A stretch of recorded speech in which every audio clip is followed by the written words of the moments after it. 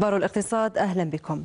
والبداية باليوم العربي للشمول المالي وتحت شعار نحو الادخار لتعزيز الشمول المالي نظم بالعاصمة يوم إعلامي يهدف إلى تعزيز المبادرات وتسهيل عملية تعميم المعلومات المتعلقة بالشمول المالي وتقريب المؤسسات المالية من مراكز التكوين المتخصصة. اللقاء الذي أشرف عليه وزير المالية العزيز فايد بحضور وزير اقتصاد المعرفة والمؤسسات الناشئة ياسين المهدي وليد ومحافظ بنك الجزائر ورئيسة المجلس الوطني الاقتصادي والاجتماعي ورئيس مجلس التجديد الاقتصادي الجزائري. عرف مشاركة واسعة لخبراء ومختصين تطرقوا لأدوات تطوير ثقافة الادخار من منظور مصرفي ودور قطاع التأمين والأسواق المالية في تطوير الشمول المالية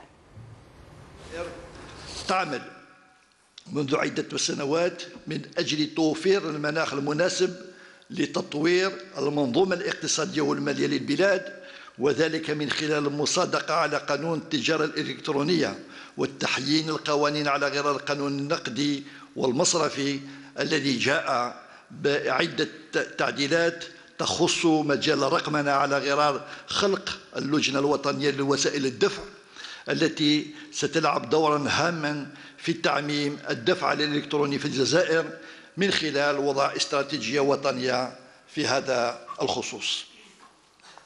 إضافة إلى هذه القوانين فقد تم المصادقة أيضا على قانون يسمح بالعمل بالتوقيع الإلكتروني واستحداث السلطة الحكومية لتصديق الإلكتروني. كلها قوانين ستسمح بمواصلة الجهود المبذولة من أجل تطوير المجال الرقمي وصناعة المالية الرقمية في الجزائر.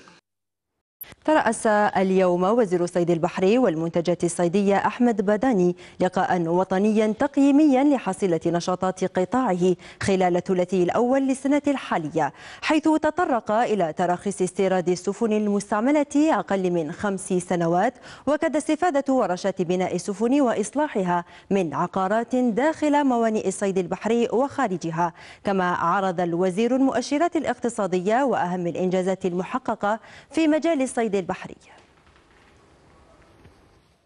نحن بصدد تحضير حملة صيد التونة آه، مع في نهاية شهر ماي سوف نطلق هذه العملية أيضا. لأول مرة آه، أيضا سنشارك سنشارك ب 34 سفينة يعني. مقارنة بالسنة الماضية كنا 32 سفينة. الآن بسفينتين إضافيتين إضافة إلى أنه آه، يعني تم على مستوى هذه المنظمة منظمة حفظ سمك التونة الوصول إلى آه، أخذ هذا القرار المتمثل في إمكانية رفع الأسطول إلى حتى 40 سفينة. تم بلوغ إنجاز 77 مزرعة لتربية المائيات البحرية منها ست مزارع خلال الثلاثي الأول من سنة 2024 تم استزراع أكثر من 23 مليون أسبوعية من صغار الأسماك خلال سنة 2023 هي محل تسمين حاليا في الأقفاص العائمة ونهدف إلى استزراع 30 مليون خلال سنة 2024 أشرف اليوم وزير اقتصاد المعرفة والمؤسسات الناشئة والمؤسسات المصغرة ياسين المهدي وليد على تنصيب عشاش بلال مديرا عاما للوكالة الوطنية لدعم وترقية المقاولاتية. وجرت مراسم التنصيب بمقر الوكالة بحضور إطارات من الوزارة الوصية. وبالمناسبة أكد الوزير أن الإصلاحات التي تعرفها الوكالة تتجه نحو تهيئة مناخ مناسب للمؤسسات المصغرة وإعطائها قدرة تنافسية تنافسية في المشهد الاقتصادي كما أن المرحلة القادمة ستكون لتعزيز روح المقاولاتية لدى الشباب وفق مقاربة اقتصادية ناجعة. اليوم النظرة الجديدة بخصوص هذه الوكالة هي أنه التوجه تاعها لازم يكون اقتصادي بحت. لازم نخرجوا على ثقافة توزيع الرع اللي كانت سائدة في الماضي والتي لم آه، نرى منها أي نتيجة آه، فعلية ولا ملموسة على الاقتصاد الوطني. ونمر أيضا نحو الاستثمار في المشاريع الحقيقية في المقاولين الحقيقيين وهذا أظن آه، أهم شيء آه، نريده نريد أن نصل إليه من خلال هذه الوكالة. أهم شيء أهم شيء هو أن يكون دراسة الملفات بطريقة اقتصادية بحتة وليس بطريقة طريقة إدارية. وباش نخرجوا من ثقافة الكم ونروحوا لثقافة الجودة. تحتضن قاعة العروض الكبرى أحمد باي بقسنطينة فعاليات الصالون الدولي ويب إكسبو الجزائر للخدمات الرقمية والتجارة الإلكترونية والتكنولوجيات الحديثة. الصالون عرف حضور خمسين مشاركا محليا وأجنبيا. ليندا شعبان. هي الطبعة الثانية لانطلاق معرض الخدمات الرقمية والتجارة الإلكترونية والتكنولوجيات الحديثة بقاعة العروض الكبرى أحمد باي بمشاركة وطنية ودولية تعرض تجارب مختلفة. تحصلت على علامة مؤسسة ناشئة لاختراع آه، le robot éducatif معناتها الروبوت التعليمي الخاص بفئة ذوي الاحتياجات الخاصة آه، والأطفال العاديين يعني من الفئة من سنتين حتى الست سنوات. لكن ما توقفتش عند هذا المشروع فقط وسعت المشروع تاعي آه، ولينا نخدموا les logiciels de gestion d'entreprise رانا بربي إن شاء الله في عامنا الرابع في في السوق الجزائري. نوفروا العديد من من الحلول في التكنولوجيا للشركات الناشئة وللشركات الكبيرة أيضا والمتوسطة. لو كليان راح يتبع وراح تكون عنده راح تكون عنده منصة اللي يقدر يتواصل معها بسهولة عن طريق يعني الواسطه الهاتف. توصيل الطرود إحنا رانا متمركزين على مستوى 72 مكتب على مستوى 58 ولاية.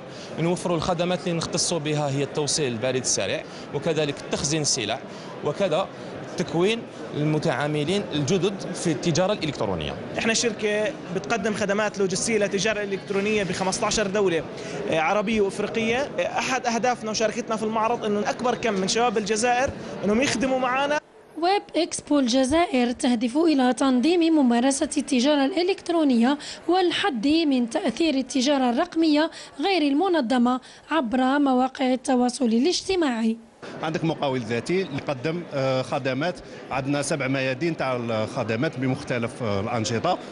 donc voilà c'est pour régulariser les jeunes qui font de l'activité توسيع الخدمات التعرف بأشخاص جدد بفاعلين جدد بأصحاب شركات ناشئة جديدة. وين يجي ولا واحد عنده مشروع يجي يلقى كل كل الشركات اللي يقدر يتعامل معاها. إلى جانب آخر سيناقش مختلف المحاضرين طريقة التواصل بين التكوين الأكاديمي والمهني بهدف تعريف الشباب بالجوانب القانونية لمواكبة التطورات في هذا المجال. فعاليات الصالون الدولي الإفريقي الذي أقيم بالوادي. انطلقت أشغال منتدى رجال الأعمال الذي ضم أصحاب شركات وشركات تسويق إفريقية وعالمية. خالد بن قرينا والتفاصيل. بهدف الوصول إلى اتفاقيات وشراكات ثنائية تسمح باستغلال ونقل السلع الجزائرية لتسويقها داخل الأسواق الإفريقية وكذا الأوروبية. انطلقت بولاية الواد فعالية منتدى رجال الأعمال والذي كان فرصة للقاءات ثنائية بين المستثمرين الجزائريين والأفارقة والبولونيين.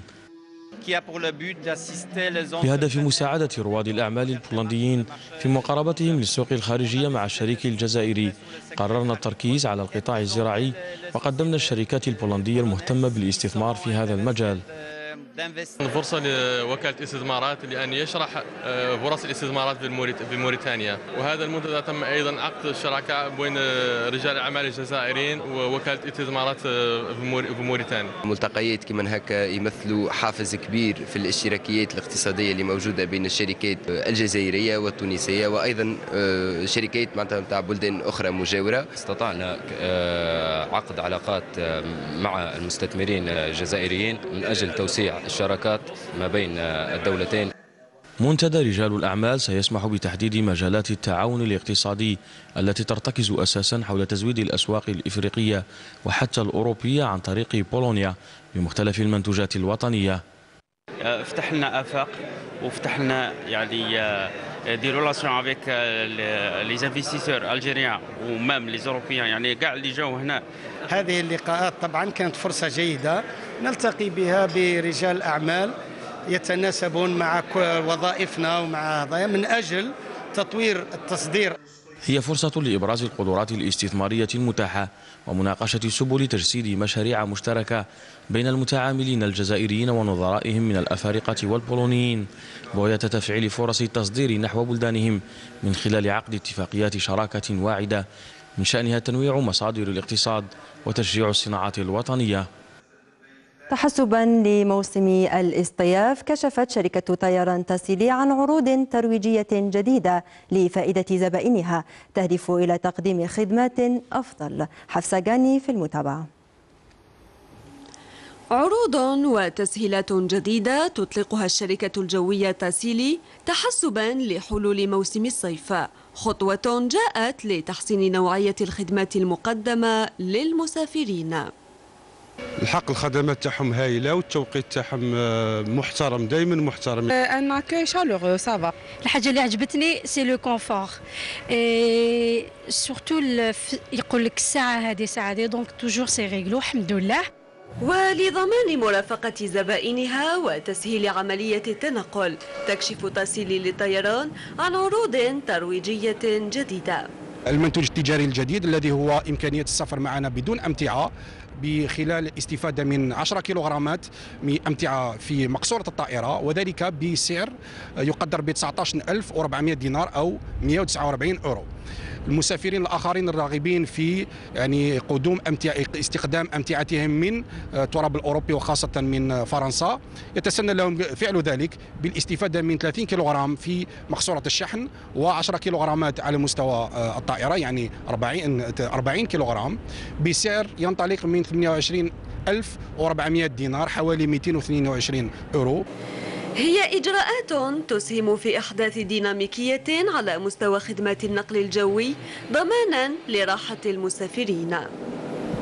ننتقل الآن إلى عرض لأسعار بعض المنتجات الفلاحية التي سجلت اليوم.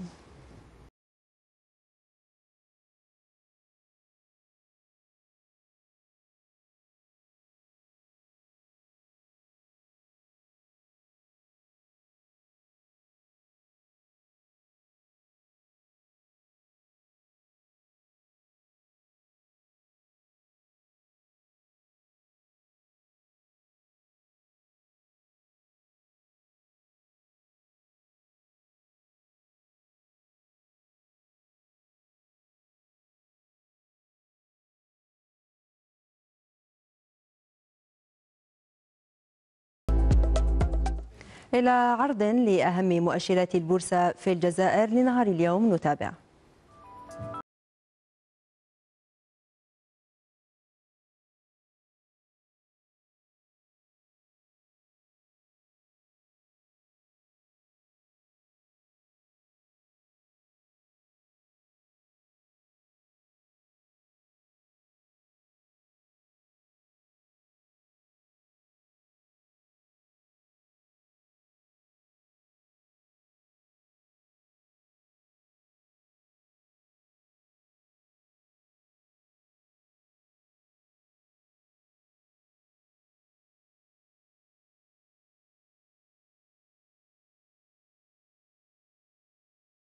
مؤشرات أسواق النفط في العالم حيث ارتفعت العقود الآجلة لخام برانت بنسبة 0.26 من المئة لتبلغ 88 دولارا و11 سنتا للبرميل. كما صعدت العقود الآجلة لخام غرب تكساس الوسيط الأمريكي لتصل إلى 82 دولارا و88 سنتا للبرميل. ارتفعت أسعار المعدن الأصفر خلال تعاملات اليوم حيث ارتفع الذهب في المعاملة الفورية بنسبة 0.42 من المئة إلى 2326 دولارا للأوقية. واستقر الذهب في العقود الأمريكية الآجلة عند مستوى 2338 دولارا للأوقية. ختام الاقتصاد بصرف بعض العملات الأجنبية مقابل الدينار الجزائري.